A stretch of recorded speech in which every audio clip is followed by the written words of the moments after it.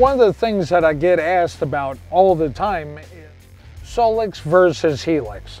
And I'm gonna tell you, I don't know that you can make a bad decision on either of those two units. One key advantage that I'll give you on a Solix, I only have to use one chip. With the network, the one boat network, all of my Solixes are networked together.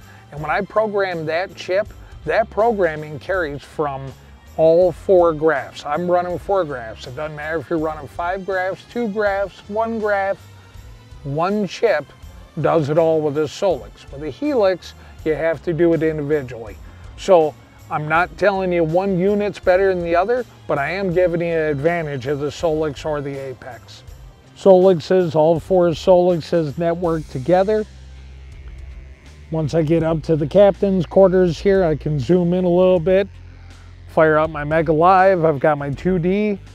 If I want to go in and set my 360 back, I can do that.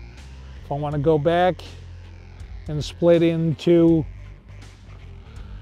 this, let's go Mega Live up here.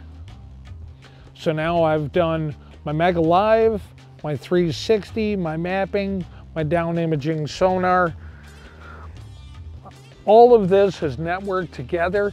That is the absolute beauty of the one boat network.